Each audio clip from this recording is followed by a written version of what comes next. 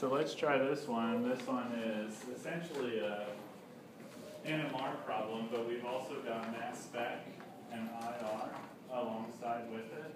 So um, it says here that the mass spec, the M plus peak at MZ equals 73. What, can you tell us anything about that? M, that 73 peak?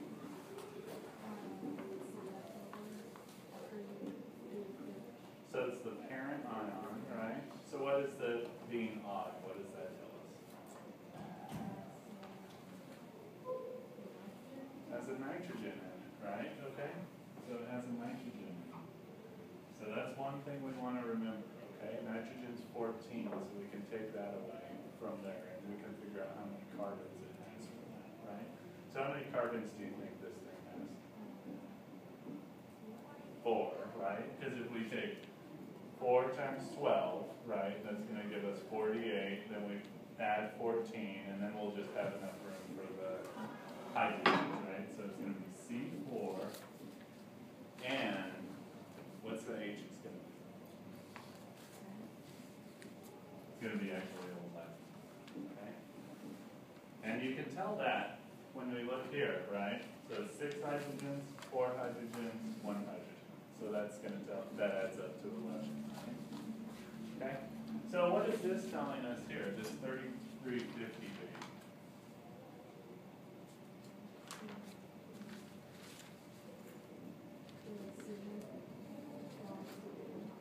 It's not the CN bond, but it's the, can anybody, yeah, it's the NH bond. Yeah, it's the NH bond. And it's telling us that it's only a single band, so what is that telling us? One hydrogen there, right? So in, in other words, it's a, um, secondary amine, right? Isn't that what you mean to say? Okay, it's a secondary amine.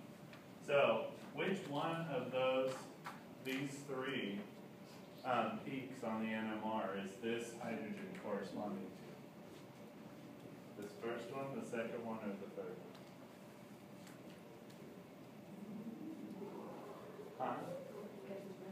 The first one, why would you guess that? Because there's only one H, right? Okay, so that's good. In fact, let's go ahead and kind of draw what the NMR looks like. So we can kind of see it, right? So, um, what do we got? One point, so we'll say that's like 1.0. So 1.05, that's somewhere around there, right? We're gonna see something that looks like that. And then at 115, we'll have a triplet. So something that looks like that, okay? And then at 2, we'll say 2's over here.